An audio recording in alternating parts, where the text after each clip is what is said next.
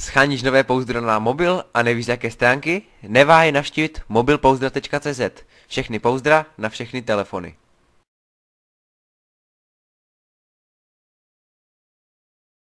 Dobrý den, vítejte u další recenze. Dneska bychom si představili telefon G Smart Mika M2, což bude vyšší střední třída. Bude se snažit zaujmout uh, lidi, kteří nemají tolik peněz a nebudou si chtít kupovat například Samsung, takže pojďme tento telefon otestovat. Telefon má pětipalcový displej, který má odpovídající rozlišení 1280 na 720 pixelů, což nám dává HD rozlišení.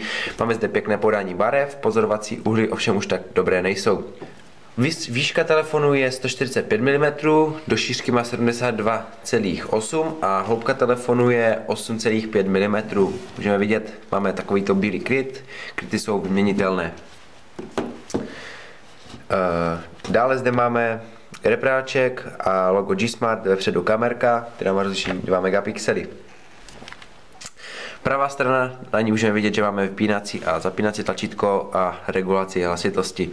Nahoře máme 3,5 mm jack a zde máme mikro USB konektor. Levá strana je úplně prázdná, stejně tak i spodek.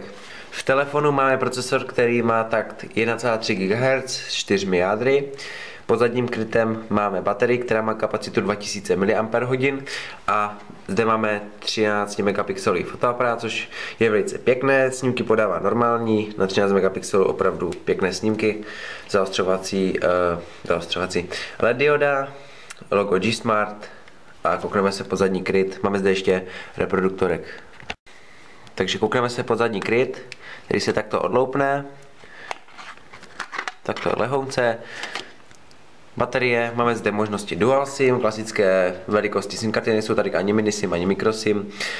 Možnost pro paměťovou kartu SD, v základu zde máme 8 GB, což je slušná hodnota, 8 GB určitě postačí, ale většina lidí ještě sáhne po zvětšení kapacity.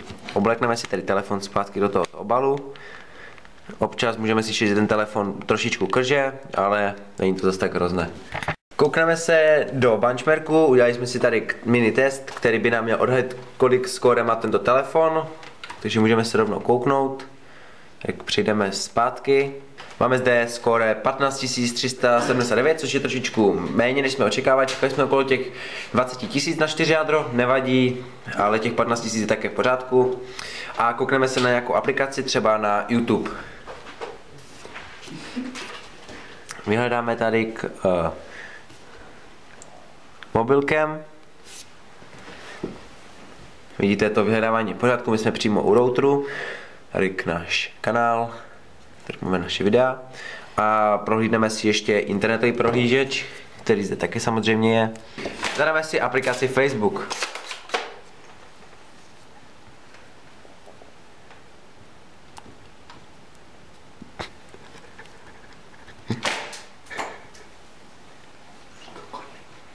Tak vidíte, to našení proběhlo v pořádku, i přechod té mobilní verze.